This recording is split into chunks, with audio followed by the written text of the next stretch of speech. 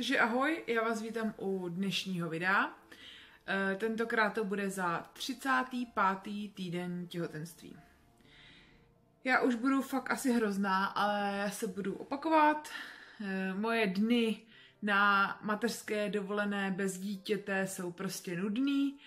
E, ráno vstanu, udělám si snídani, vstávám mezi sedmou, osmou, Někdy třeba nespím, takže jsem zůru třeba od půl pátý od rána.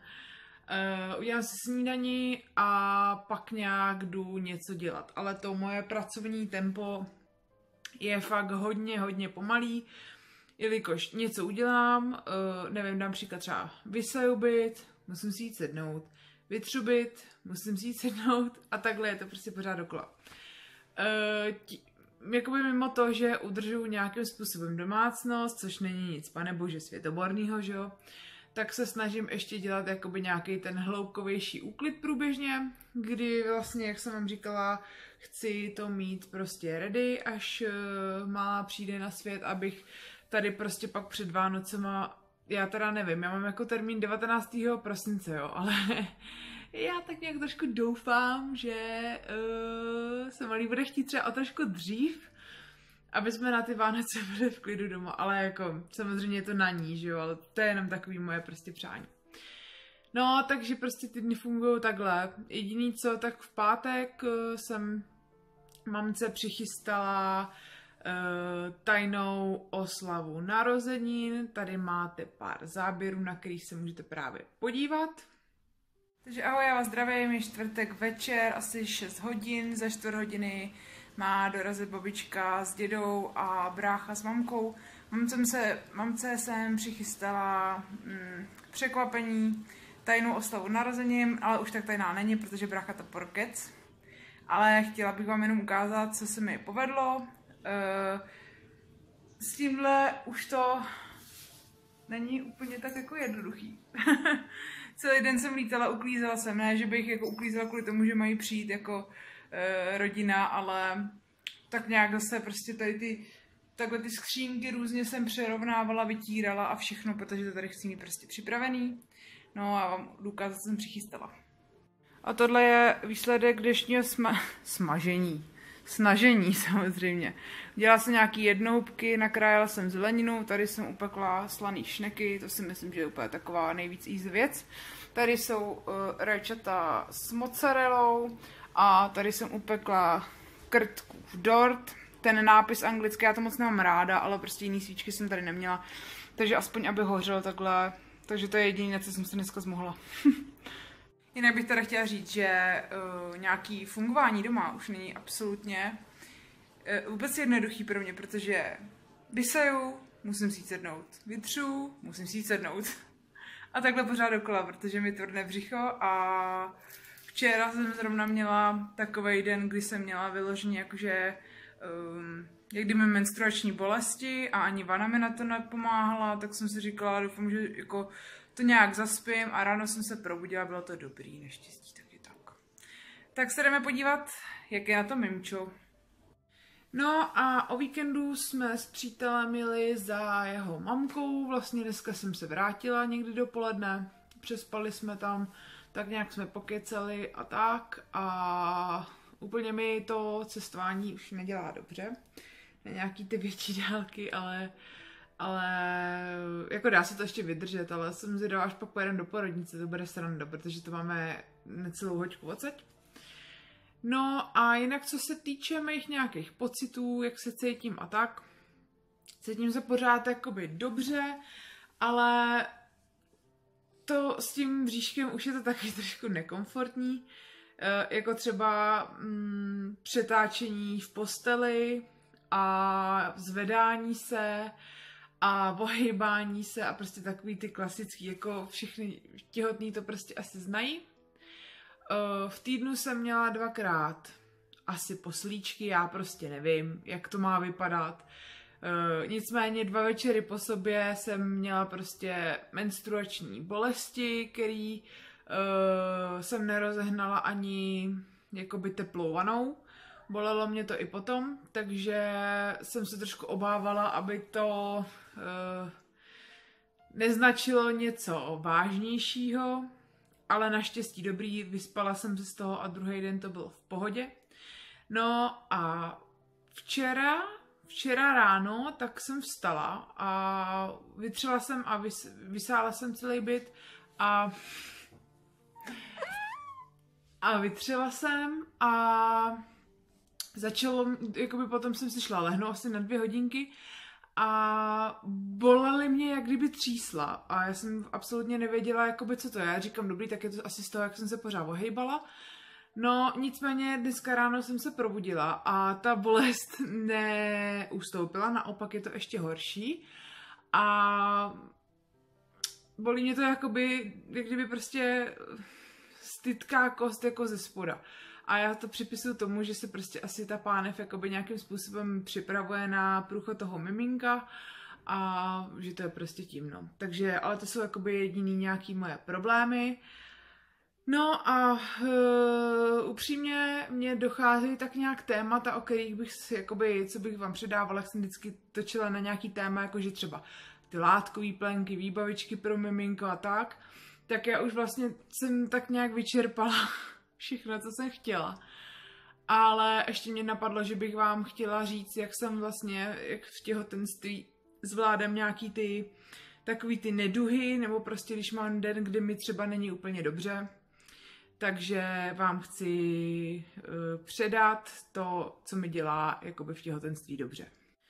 Tak první takovou věcí, uh, mojí oblíbenou, uh, záleží jakoby v, v jakém jsem stavu. Já se většinou fyzicky cítím dobře, uh, spíš jakoby na mě občas dolehají takový ty uh, splíny. Já se, musím se přiznat teda, nevím, jestli se to za, ty, za těch pár týdnů do porodu změní, myslím si, že už ne, ale já jsem netrpěla teďko v těhotenství žádnýma nějakýma uh, výkyvama nálad, nebo měla jsem takový jako asi dvě výjimky, kdy jsem měla takovou přehnanější reakci na situaci, kde bych reagovala, kde bych třeba vůbec ani jako neřešila, ale to bylo celý, nebyla jsem nějakým způsobem plačtivá, hysterická, nic, prostě byla jsem úplně v pohodě. Uh, ale když mám třeba nějaký ten horší den, kdy třeba jsem unavenější nebo tu náladu nemám úplně dobrou, tak uh, první co, tak si jdu udělat prostě velký hrnek s čajem, uh, když mám tu možnost a zalezu si prostě pod deku a pustím si třeba nějaký film. To mi prostě pomáhá uh, na nějaké jakoby uvolnění těch myšlenek a tak dál. Prostě já třeba nemám strach z porodu vůbec, ani teďkon, kdy mi vlastně zbývá nějaký měsíc, tak z porodu strach nemám. Uh, je to možná tím, že třeba nevím, do čeho jdu, ale já si myslím, že ne, že jsem si to prostě nastavila tak, že to k tomu životu patří a že prostě musím si tím projít a neberu to jako nic negativního, beru to, že, se, že jsem prostě přichází k nám nový človíček a chci to prožít, nechci to jenom přežít a chci, aby to byl fakt jakoby nejhezčí zážitek z život, jakoby v životě jak pro mě, tak pro partnera.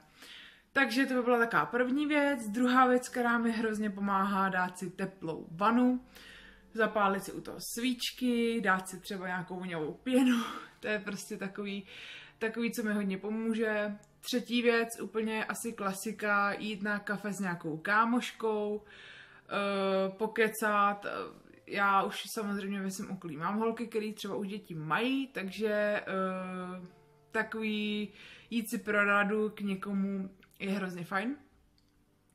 Další věcí, co mi třeba pomáhalo, jít uh, na procházku, třeba s pejskem, nebo, nebo i sama jsem šla, tady máme kousek takový hezký park, takže jsem chodila na procházky. No a taky mi pomáhá uh, přítel vlastně, čím víc jsem těhotná, tak je takový mi přijde jakoby empatičtější, což jsem za to strašně ráda.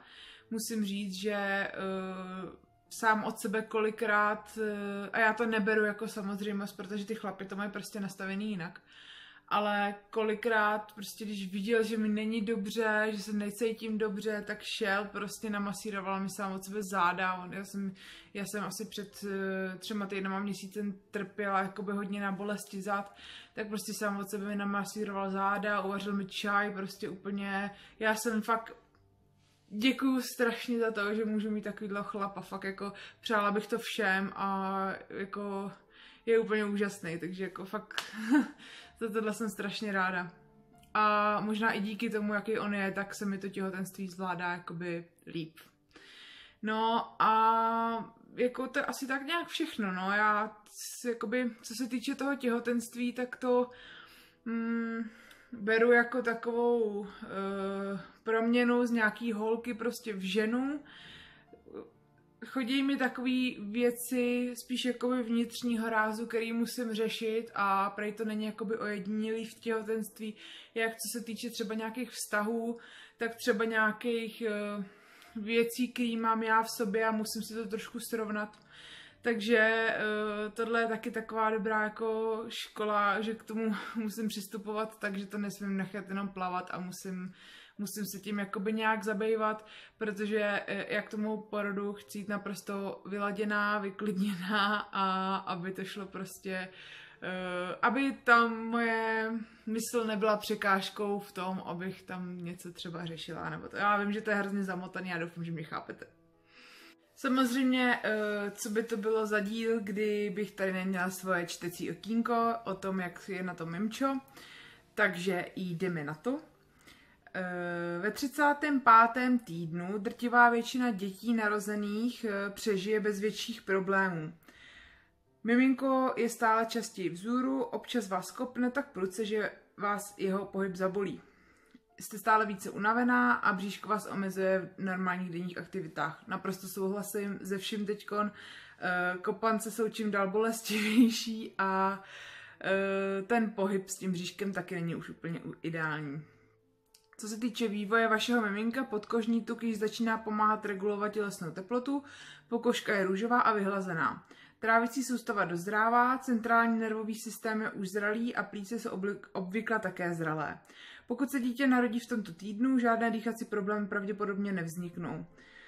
E, dítě měří okolo 45 cm a váží 2,5 kg.